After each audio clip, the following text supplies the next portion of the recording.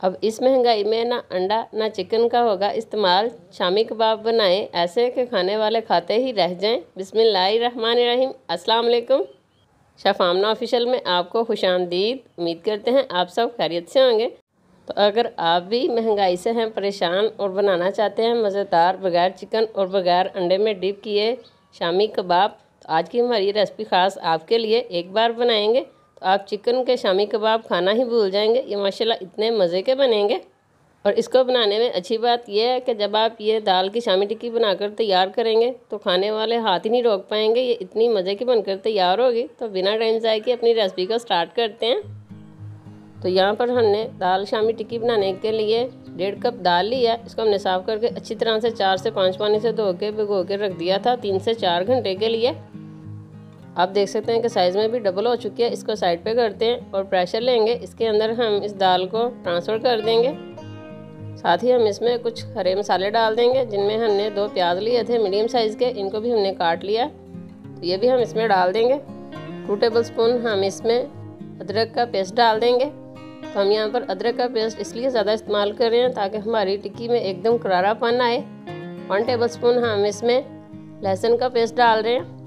आप इसकी जगह पर 10 से 12 जवे लहसुन के डाल सकते हैं। साथ ही हम इसमें डालेंगे दो बड़ी इलायची और एक दालचीनी की स्टिक डाल देंगे। हाफ़ टेबल स्पून हम इसमें लाल मिर्च का पाउडर डाल देंगे। वन टेबल स्पून कुटा हुआ धनिया डाल देंगे। हाफ़ टी स्पून हम इसमें हल्दी डाल देंगे। साथ ही हम इसमें शामिल करेंगे वन टेबल स्पून नमक। हाफ़ टी स्पून हम इसमें ज़ीरा पाउडर डाल देंगे।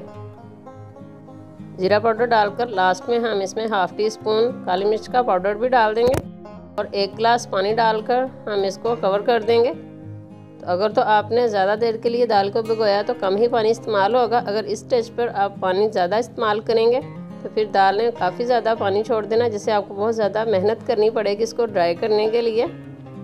जैसा कि आप जानते हैं कि हमने इसमें चिकन का इस्तेमाल नहीं किया तो बहुत ज़्यादा पानी डाल देने से नॉर्मल डेज़ में जब हम दाल बनाते हैं, वैसे का इसका ज़ायका हो जाएगा। और शामी टिक्की का ज़ायका इसमें बिल्कुल भी नहीं आएगा। अब हम इसको कवर कर देंगे। तो नॉर्मल पानी डालिएगा, जब भी आपने ये दाल शामी टिक्की बनानी हो। कवर करके सात से आठ मिनट के लिए हम इसको सीटी लगा लेंगे। यहाँ पर सात से आठ मिनट गुजर चुके हैं और दाल हमारी इसी तरह से गल चुकी है। स्टेज पर फ्लेम ऑन करेंगे ताकि थोड़ा बहुत हल्का फुल्का इसमें पानी हो तो वो भी ड्राई हो जाए। और इसमें जो दालचीनी और इलायची हमने डाली है, वो निकाल देंगे। स्टेज पर उनका काम ख़त्म हो चुका है। और इसको हम अच्छी तरह से मैश कर लेंगे। तो इस स्टेज पर आपने फ्लेम को मीडियम ही रखना है।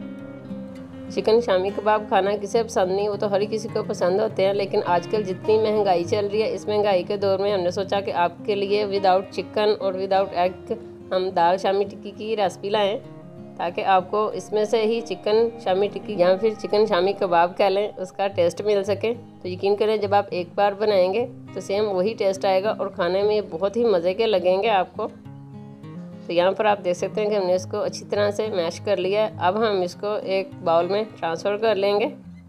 लेकिन इससे पहले हम इसमें कुटी हुई हरी मिर्चें और साथ ही कुछ कटा हुआ धनिया डाल देंगे हसब ज़रूरत। अब अगर स्टेज पर हम धनिया और हरी मिर्चें ना डालते, पहले डाल देते तो इनका जो टेस्ट है और एक तीखा सा पन है हरी मिर्चों का, वो ख़त्म हो जाना था और धनिया की खुशबू भी ख़त्म हो जानी थी। तो स्टेज पर डालने से आप भी देखेंगे, जब आप तैयार करेंगे तो ये बहुत ही ज़्यादा मज़े के लगेंगे और हल्का सा तीखापन आएगा इनमें हरी मिर्चें डालने से और धनिया डालने से इनके अंदर से अच्छी सी खुशबू आएगी। अच्छी तरह से मिक्स करके अब हम इसको एक बाउल में निकाल लेते हैं और ठंडा होने के लिए रख देंगे। इनको फ्राई करने के लिए हम अंडे का तो इस्तेमाल नहीं करेंगे, लेकिन हमने यहाँ पर बेसन लिया है वन फोर्थ कप के करीब। इसमें हाफ़ टी स्पून नमक डाल देंगे और इसको अच्छी तरह से मिक्स कर लेंगे। बेसन में डिप करके फ्राई करने से एक तो ये बिखरेंगी भी नहीं और दूसरा ऊपर से ये क्रिस्पी भी हो जाएँगी और मज़े की भी लगेंगी। तो थोड़ा थोड़ा पानी डालकर हम इसका गाढ़ा सा पेस्ट तैयार कर लेंगे। बिल्कुल इस तरह का। अब हम इसको साइड पे करते हैं और यहाँ पर हमारा दाल शामी टिक्की का मिक्सचर ठंडा हो चुका है। हाथों को ऑयल से ग्रीस कर लेंगे और वन बाय वन करके हम इसके दाल शामी टिक्की तैयार कर लेंगे। इनको टिक्कियों की शेप देने के लिए आप चाहें तो आप हाथों को पानी भी लगा सकते हैं। और बेसन वाले अमेज़े में डिप करके फ्राई नहीं करना चाहते तो फिर आप अंडे का भी इस्तेमाल कर सकते हैं। और यहाँ पर हमने एक तैयार कर लिया। इसी तरह हम वन बाय वन सारी तैयार कर लेते हैं। और माशाल्लाह यहाँ पर हमारी तमाम टिक्कियाँ तैयार होकर आ गई हैं। तो इस स्टेज पर आप इनको फ्रीज़ भी कर सकते हैं। जिपलॉक बैग में डालकर फ्रीज़ कर ले या फिर आप इनको किसी ट्रे वगैरह में रख के भी फ्रीज़ कर सकते हैं। अब हम इनको जल्दी से फ्राई कर लेते हैं। तो फ्राई करने के लिए अगर तो आप बेसन का इस्तेमाल कर रहे हैं तो ऑयल को आपने अच्छी तरह से गर्म कर लेना जितना अच्छी तरह से ऑयल गर्म होगा, इतनी ही ज़्यादा ज़बरदस्त इसकी बाइंडिंग होगी बेसन की। और हमारे जो कबाब हैं और हमारी जो दाल की शामी टिक्की है, ये फ्राई करते वक्त बिखरेगी भी नहीं। तो अगर आप अंडे का इस्तेमाल कर रहे हैं तो फिर आपने ऑयल को बहुत ज़्यादा गर्म नहीं करना नॉर्मल सा गर्म कर लेना है। और इसको हम बेसन वाले अमेज़े में अच्छी तरह से डिप करेंगे और फ्राई करने के लिए ऑयल में डाल देंगे। फिर से बता दें कि इनको आपने मीडियम टू हाई फ्लेम पर फ्राई करना है, क्योंकि ये अंदर से कम्प्लीटली कुकड है। जस्ट हमने इनको ऊपर से कलर देना है। तो इनकी दो से तीन मिनट के बाद साइड को चेंज कर लेते हैं। और इसी तरह साइडों को चेंज करते हुए हम इनको मीडियम टू हाई फ्लेम पर फ्राई कर लेंगे। अच्छा सा गोल्डन कलर आने तक। माशाल्लाह आप देख सकते हैं, यहाँ पे हमने इनको फ्राई कर लिया डिश आउट करते हैं और फाइनल लुक में आते हैं।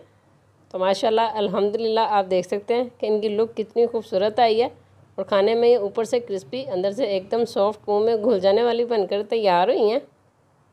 बहुत ही ज़्यादा लजीज माशाल्लाह बनी है। उम्मीद करते हैं आज की हमारी ये विदाउट चिकन विदाउट एग दाल शामी टिक्की की रेसिपी आपको पसंद आई होगी।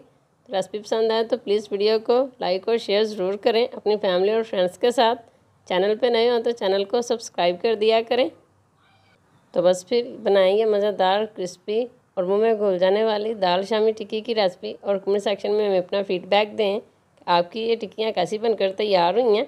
मिलते हैं नेक्स्ट रेसिपी में। खुश और आबाद रहें। हमें भी अपनी दुआ में याद रखिए। अल्लाह हाफिज़।